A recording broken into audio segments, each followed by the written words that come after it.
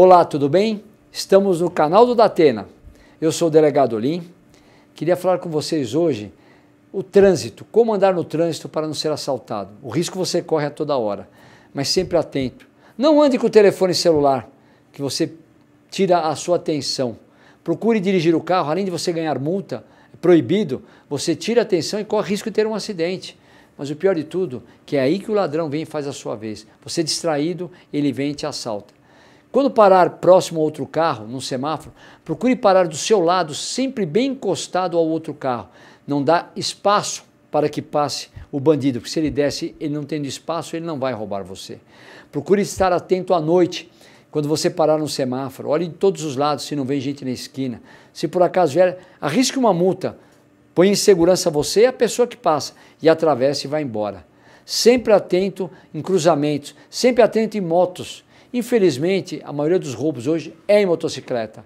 Todos os roubos que são feitos em semáforos para relógio são motocicletas. Não dê a vez de ficar com bolsas próximas ao seu carro que pode quebrar o vidro e levar a bolsa. Procure pôr no porta-mala.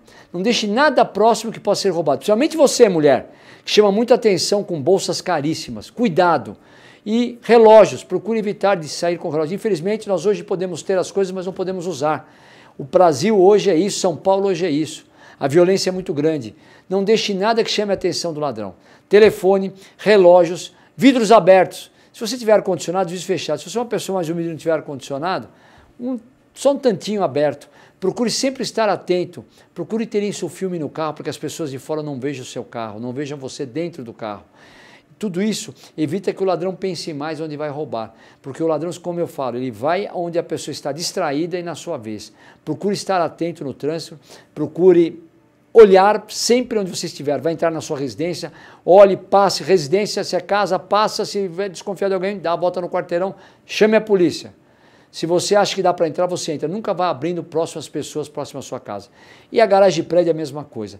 Com isso, você evitará um assalto, evitará de você ter sabores e até ter alguma violência maior, porque você sabe que o ladrão vai para tudo. Muito obrigado e até a próxima.